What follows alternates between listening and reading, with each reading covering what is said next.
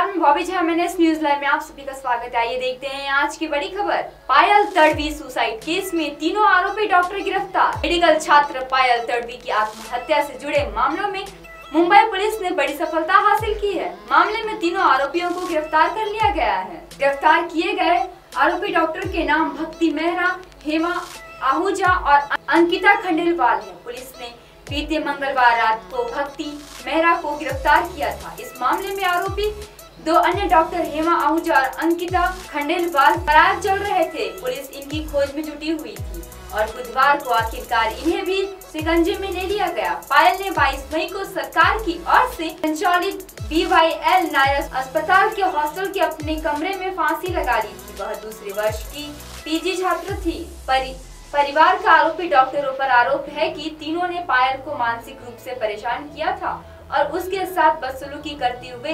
भेदभावपूर्ण व्यवहार किया था।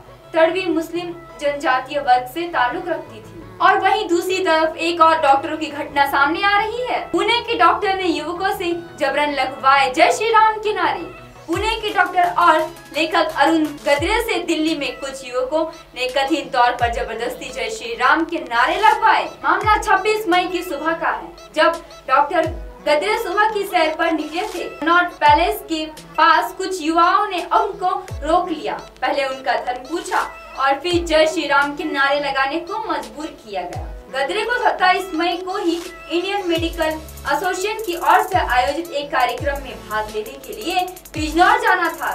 गदरे जंतर मंतर के पास आईवी वाईएमसीए में ठहरे हुए थे और सुबह टहलने निकले थे। गदरे ने मामले में कोई एफआईआर दर्ज नहीं की, उन्होंने यह पूरी घटना अपने दोस्त प्रेस क्लब ऑफ़िस इंडिया के अध्यक्ष पत्रकार अनंत बागाईकर इतर को बताई, जिसके बाद ये मामला प्रकाश में आया। वह सुबह की सैर पर निकलता तो कनॉट प्लेट से हनुमान मंदिर के पास छह सात लड़कों ने उन्हें घेर लिया।